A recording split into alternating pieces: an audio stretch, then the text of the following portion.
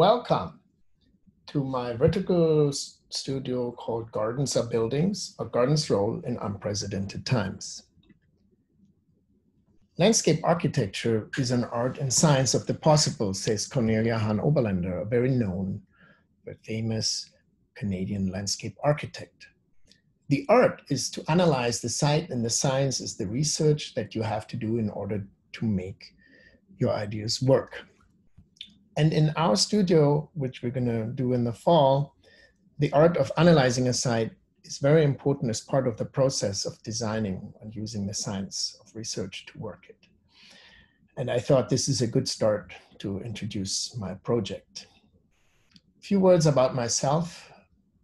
I've been enjoying the environment since I was a small child, as you can see here in the Alps, living in the log cabin of my grandmother and that had a huge impact, profound impact on me. And I studied then later on horticulture and landscape architecture in Britain and have been a landscape architect for nearly three decades. And I've been teaching for more than 20 years and the last 15 full time here at UBC.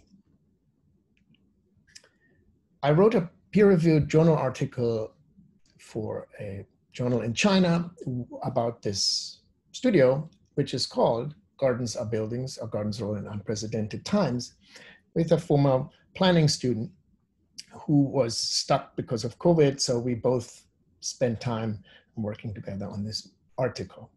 And in this article, as well as in the studio, I asked three questions. What are the roles of a garden today? In this unprecedented pandemic? And how will this pandemic alter the opinions and access to gardens and parks? And how can planners and designers help to provide more gardens and green space in cities to help to mitigate the effects during and after the COVID crisis or other future crises? So I developed this tool which looks at um, basically building typologies, for example, in a hospital, a high-rise building, a research lab, an educational building, and the garden activities which take place when there is a garden accessible to these buildings. And I then went into deeper developing matrices looking at each of these building typologies like below the educational building and then looked at the programming to come up with an argument in relation to the use of the building in relation to the garden, what garden activity is actually necessary in the different buildings. And there are two matrices and there are more, which I'm showing in the article.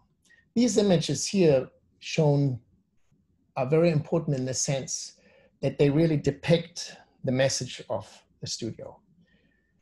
It, I argue that often the site is not thought of so much from a landscape architecture point of view, but first from a building point of view. But I argue that actually the garden should be the driver, what kind of building and how the building's use in relationship to the garden should be designed.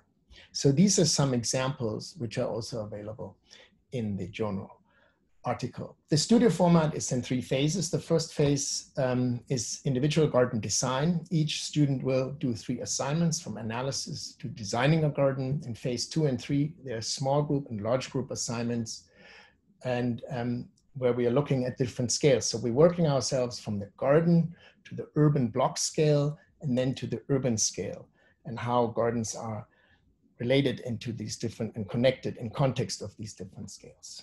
The project sites for phase one is every student has an individual garden to design where he resides. And then for phase two and three, um, sites are you, uh, teams are created, small teams and larger teams, and uh, then sites are chosen and from one of the team members and the other team members have to work and cooperate with those team members together. And that's all just done in discussion with the professor. The studio up setup is very different to the normal studio where we design from the large scale to the small scale. Here we design from the small scale to the large scale. And the reason is it's a good way to learn landscape architecture as the scale in landscape architecture goes from a garden right to the region. And it's in a familiar scale before one works at the urban scale. So the garden scale everybody is, has experienced, while the urban scale is much more complex. And for that reason, I argue that it is important to first start with the garden and then work your work, work your way up, also using different technological tools to show it. And uh, finally, I have a movie here which hopefully is working, yes. So what I'm trying to say in this movie, you can see that very clearly, mostly what happens on a site. First, the architect designs the building, and then it is very rare that architects, and landscape architects cooperate right from the beginning, and then the landscape architect comes in as an afterthought. And I argue that maybe this is inappropriate and we should be thinking first of the garden or the garden use in relation to the building typology, like say a hospital, what kinds of gardens need to be created, for example, for a surgeon and a nurse to rest, for the patients to recover from their, their illnesses, and for the visitors to have a garden to calm before they go into the building. So there's these different kinds of activities which happen in gardens which have a profound effect on how a site is designed in relation to the building. So I argue, and this is also the, the argument of my journal article, that gardens maybe often should be first and then the building grows from that garden. And um, this is all I have to say for now. And I hope we, uh, I'm then ready for questions on the Tuesday, September 8th to take questions and any other qu queries you have. Thank you very much.